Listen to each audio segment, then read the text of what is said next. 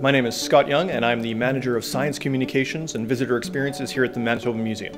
Well, this is our meteorite exhibit, and we put this into the science gallery because about once a week someone comes into the museum with a rock that they think might be from outer space. So we wanted to have some reference material out here, and we wanted to help people be citizen scientists to go out and actually uh, find these things on their own. Well, meteorites are very, very rare, so we have a few examples from Manitoba, but there's only 13 ever found in our province. So we've also got some from around the world just to round things out.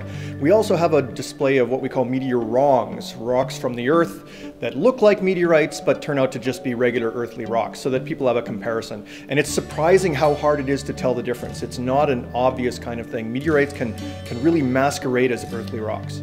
Well, this is uh, a meteorite um, from the Al Haggounia meteorite fall over in, um, in Africa. Yeah, this is the oldest rock that I've ever touched. It dates back to before the Earth was even a planet. Um, these are left over from the formation of the solar system. And so when you look at a meteorite, you're actually looking at the things that made up the planets that just didn't get used up. So when one falls, it's actually like we sent a spacecraft out into space, landed on an asteroid, dug out a piece and brought it all the way back, except we didn't have to spend a, a bunch of money to do that. It just fell right into our lap. So that's why they're so valuable.